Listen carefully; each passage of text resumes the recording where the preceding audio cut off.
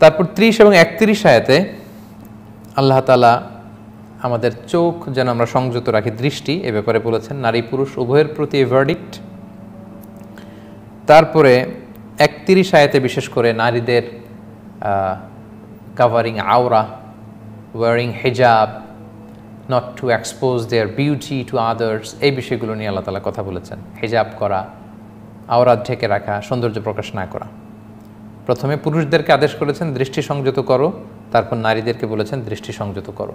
কারণ যেহেতু আমরা সুরাটা শুরুই হয়েছে অনেক সোশ্যাল রুলিংস দিয়ে এবং সেখানে রেপ ফর্নিকেশন অ্যাডাল্ট্রির কথা, ব্যভিচারের কথা, তো ব্যভিচার বন্ধ করার প্রথম স্টেপ হচ্ছে দৃষ্টিকে সংযত করা।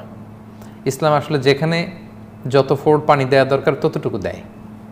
যেই রাস্তাটা ব্লক করে দিলে, পাপের রাস্তা বন্ধ হয়ে যায়, ইসলাম সেটাকে বন্ধ করে। তো ব্যভিচার বা জিনা, এটার সূচনা হয় কোথেকে বলুন তো আপনারা? জি, ঠিকই বলেছেন। অসংযত, অসংলগ্ন দৃষ্টি থেকে। দৃষ্টি দিয়ে এটার সূত্রপাত। অপরিচিত নারী পুরুষ একে অপরের দিকে এই অসংযত চাহনি, বারবার দৃষ্টি দেয়া, ফলে মনে বা ভেতরে আকর্ষণ তৈরি করা, একে অপরকে ভালো লাগা পাপ সম্পর্কে জড়ানো এবং অ্যাজ এ রেজাল্ট অ্যাডাল্ট্রি বা ফর্নিকেশনের দিকে চলে যাওয়া। আল্লাহ তালা এগুলো থেকে, এই ব্যবচার থেকে, অশ্লীলতা থেকে থেকে আমাদের হেফাজত করুক। তাই প্রথম রাস্তাটা আল্লাহ ব্লক করে দিয়ে বললেন কুল্লিল মিনিনা আবু সারিহিম ও ইয়াহফাদু ফুরুজাহম। হে নবী, আপনি বিশ্বাসী মুমিনদের বলুন, তারা যাতে তাদের দৃষ্টিকে সংযত করে। Lower your gaze lower your eyesight চোখ নামাও। এবং তারা যেন তাদের প্রাইভেটকে হেফাজত করে। জালিকা আসকা আলহম এটাই তাদের জন্য পবিত্র। ইন্নআল্লাহ খবির বিমাই আসনাউন তারা কি করে? আল্লাহ কিন্তু ভালো করেই জানেন। তাহলে চক্ষুকে অবনমত করা, অবনমিত করা, সংযত করা, এটা এটা জরুরি। এটা থেকে পাপের সূত্রপাত এবং শয়তান এই লাগামহীন দৃষ্টি দিয়েই মানুষকে পাপে জড়িয়ে ফেলে।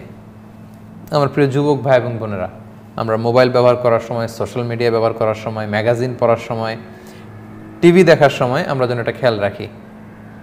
এই রকম কোনো দৃশ্য, দৃশ্যায়ন যদি আসে, আমরা যেন চোখ নামাই, আমরা যেন স্ক্রল করে অন্য প্রোগ্রামে চলে যাই। পাশাপাশি মানে same order goes to for women নারীদের জন্য এটা যাচ্ছে, আল্লাহ তালা বলছেন যে ওয়াকুল্লিল মিনাত ইয়াকুদুদ্না মিনা বসারেহিন্না হেনবি মমিনদের পাশাপাশি আপনি মমিন নারীদেরও বলুন, মমিন পুরুষদের পাশাপাশি তাদেরও বলুন, তারাও যাতে চোখ অবনমিত রাখে। ওই আহফাদনা ফুরু জাহুন তারা যেন তাদের প্রাইভেটসকে হেফাজত করে। ওয়ালা ইউবদিনা জিনা তাহুন্না ইল্লা মা দাহারা মিনহা আর তারা যেন তাদের সৌন্দর্য প্রকাশ না করে, তবে মা দাহারা মিনহা, যেটা এমনিতেই প্রকাশ হয়ে যায়, যেটাকে আর গোপন রাখা যায় না। সেটা তো আর গোপন করা যাচ্ছে না, সেটা ভিন্ন কথা। সেটা কি? এটা নিয়ে অনেক একতেলাফ আছে। কেউ কেউ বলেছেন, এটা হচ্ছে চেহারা আর হাত। এই দুইটা এমনি প্রকাশ হয়ে পড়ে। কেউ বলেছেন চেহারা, হাত, পা, পায়ের নিচের অংশ, টাকনো পর্যন্ত। এগুলা চলতে ফিরতে মানুষের এমনি প্রকাশ হয়। আবার কেউ কেউ বলেছেন না, চেহারা দেখানো যাবে না, শুধু হাত, পায়ের কিছু অংশ এবং তার গায়ে যে উপরে চাদর বোরকা পরা হয়, এটা তো মানুষ দেখবে, চাদর বোরকা তো দেখবে, কেউ কেউ এটার কথা বলেছেন। তবে তারা তাদের সৌন্দর্য প্রকাশ করতে পারবেন ইল্লালি বলাতিহিন্না স্বামীর ব্যাপার আলাদা, স্বামীর সাথে স্ত্রীর কোনো পর্দা নেই। কোনো পর্দা নেই। আও আবা ইহিন্না অথবা শ্বশুর। শ্বশুরের কাছেও হাত, পা এবং চেহারা প্রকাশ পেলে, হাত, পা, চেহারা, গলা যেগুলো হাঁটতে, চলতে, ফিরতে শ্বশুরের খ্যাদমত করতে, ঘরের জিনিসপত্র এক জায়গা থেকে আরেক জায়গায় নিতে ফ্যামিলি চোর্সগুলো আঞ্জাম দিতে, যেটা এমনি একটা নারীর চলতে ফিরতে দেখা যায়, হাত, পা, চেহারার অংশ, এগুলোতে সমস্যা নেই। আও আবা ই বলাতিহিন্না স্বামী বাবা, শ্বশুর আও আবনা ইহিন্না সন্তান। সন্তানের কাছেও এই পর্দাটা নেই মানে কঠিন পর্দা যেটা, সেটা নেই। আও আবনা ইব ওলাতিহিন্না স্বামীর সন্তান। আমার স্বামীর কোনো কোনো নারীর ক্ষেত্রে তার স্বামীর আগে বিয়ে হয়েছিল, সন্তান আছে, সেই সন্তানের কাছেও এই কঠিন পর্দাটা নেই। আও এখোয়ানিহিন্না নিজের ভাই।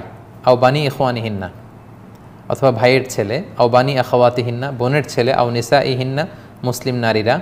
আও মামালাকাতা ইমানুহুন্না অথবা দাসীরা, আও আইনা গৈরি উলিল ইরবা মিনার রিজাল। পুরুষদের মধ্যে থেকে যেই পুরুষ দাসীরা ঘরে বাজার দিয়ে যায়, এটা করে ওটা করে, এমন পুরুষ যার নারীর প্রতি কোনো আকর্ষণ নেই। একটু বোকাশোকা টাইপের নং পুষক টাইপের। এদের ক্ষেত্রেও ছাড় আছে। আবি তিফলিল্লা দিন আলামিয়াল ধারু আলা আওরাতিন নিসা, অথবা এমন শিশু যাদের কাছে নারীদের সৌন্দর্য বা আকর্ষণ এখনও প্রকাশিত হয়নি। ছয় সাত বছরের ছেলে, ছোট। তার সামনে এই কঠিন পর্দাটা নেই। এই, এইগুলো হচ্ছে এক্সেপশন এরপর আল্লাহ বলছেন, ওয়ালা ইয়াদ্রিব নবী আরজুলিহিন্না লিও ওলামামা ইউফিনা মিন জিনাতিহিন নারীরা এমনভাবে পা ফেলে যাতে রাস্তায় না হাঁটে, যাতে করে তাদের সৌন্দর্য দেখা যায়, প্রকাশ হয়ে পড়ে, ভেতরের সৌন্দর্য, শারীরিক অবয়ব, এটা একটু করে দেখা যায়, বোঝা যায়, অনুমেয় হয়, এমনটা যেন না করে। তাহলে আমাদের সম্মানিত বোনেরা, আপনাদের চলন, বলন কথা, হাঁটা সব কিছুতে একটা পরিশীলিত, মার্জিত, শালীন চলাফেরা হওয়া উচিত। কোরআন কিন্তু এটাই আমাদেরকে সাজেস্ট করে। এখন আমাদের অনেক বোনরা হাই হিলের জুতা পরে। হিলটা এত চিকন, হাঁটার সময় ঠক ঠক ঠক ঠক আওয়াজ হয়। এটা কিন্তু এ আয়াতের আলোকে হারাম, নিষিদ্ধ। আপনি এমনভাবে হাঁটবেন না যে আপনার হাঁটা দিয়ে আপনি অন্য পরপুরুষকে আকর্ষণ করছেন। এখন তো কি বলে যে ক্যাটস ওয়াক একটা আছে, যারা মডেলিং করে তারা এরকম ক্যাটস ওয়াক করে with a special movement of their hips বলে আয়াদুবিল্লাহ হিপের একটা স্পেশাল মুভমেন্ট সহ এমনভাবে তারা ক্রসিং করে ডান পা, বাম পা দিয়ে হাঁটে, এটাকে তারা নাম দিয়েছে ক্যাটস ওয়াক বলে আয়াদুবিল্লাহ কবে যেন নাম দেয় যে ডগস ওয়াক এগুলো থেকে আল্লাহ তালা আমাদেরকে হেফাজত করুক। এই স্পেশাল যে ওয়াকিং মডেলিংয়ের বোনরা যারা করেন, প্রিয় বোনেরা, আপনারা এই পথ থেকে ফিরে আসুন। আপনাদের হাঁটা, আপনাদের বডি জেস্টার বডি মুভমেন্ট দিয়ে আমরা যেন পর পুরুষকে আকর্ষিত না করি। এই পাপের পথে যেন আমরা না যাই। আমরা সম্প্রতি বাংলাদেশের একজন চিত্রনায়িকার আকুতির কথা শুনেছি। তিনি বলেছেন যে, আমার মৃত্যুর পরে আমার মুভিগুলো আমার ভিডিও ক্লিপসগুলো সবাই ডিলিট করে দিবেন। তো সারা জীবন এই পাপের পথে চলে, সারা জীবন এই জাতীয় কর্মকাণ্ড জড়িত থেকে শেষ জীবনে এটা বললেই কি আসলে ডিলিট হয়? এই এই সোশ্যাল মিডিয়ার জগতে নিরঙ্কুশ স্বাধীনতা বলতে কিছু আছে? আমি চাইলেই কি আমার ভিডিওগুলো ডিলিট করা যাবে? যাবে না। তো আমরা শেষ সময়ে না বুঝে আমরা শালীনতার পথে, আমরা সত্যের পথে, আমরা কল্যাণের পথে যেন এখন থেকেই থাকি। সময় চলে যাওয়ার পরে যেন আমরা না বুঝি। আমাদের যেই চিত্রনায়িকা যে বোন, এই আকুতি পেশ করেছেন আসলে কি তার পক্ষে গোটা বিশ্বে তার যে দর্শক, শ্রোতা তাদের কাছে তার ভিডিও তার মুভিগুলোতে যে সিনগুলো এই দৃশ্যগুলোকে আসলে ডিলিট করা সম্ভব। দেখা যাবে যে তিনি মৃত্যুর পরেও এই ডিলিট এই ভিডিওগুলো চলতে থাকবে। সো আমার এই বোনের কথা শুনে আপনাদের নাম দেয়া, যেটাকে কি বলে, রূপালী জগতের বড় পর্দার আমাদের অন্যান্য বোনেরা আমরাও যেন একটু উপলব্ধি করি যে আসলে আমরা কোন পথে হাঁটছি। আম- আমার কাজ, আমার ক্যারিয়ার আমার পেশা, এটা কি আল্লাহ সন্তুষ্টির পথে আছে? এটা দিয়ে কি আসলে গণমানুষের কল্যাণ হচ্ছে না আসলে অশ্লীলতার দিকে আমরা ধাবিত হচ্ছি? একটু একটু থিঙ্ক করি আমরা। একটু চিন্তা করি আমাদের লাইফস্টাইল সম্পর্কে। মানুষের হৃদয়ে একটা নূর থাকে এবং কোরআন আর একটা নূর, দুই নির, নূর মিললেই নূর না আলা নূর, আলোর উপর আলো। এটা নিয়ে আমাদের লাইফ সিরিজের নামকরণ লাইট আপন লাইট সো আপনার মধ্যে সেই সত্য, সত্যের অংশ কিন্তু আছে।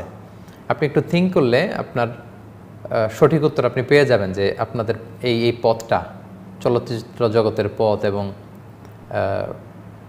যদি শাল- শালীনভাবে কোনো অভিনয় করা হয়, শালীনভাবে কোনো মিডিয়া প্রোডাকশন হয় যেটা দিয়ে কল্যাণ আছে, ইতিহাস, ঐতিহ্য তুলে ধরা হয়, সেটার একটা ব্যাপার থাকতে পারে। কিন্তু অশ্লীলতার দিকে মানুষকে ধাবিত করে, আহ্বান করে, যৌন সুরসুরিমূলক যেই মুভি সিনেমা ভিডিওগুলো এগুলোর ব্যাপারে আসলে আমরা কি জবাব রেডি করেছি? In the day of judgement no excuse will be granted that day সেদিন কোনো অজুহাত আল্লাহ গ্রহণ করবেন না।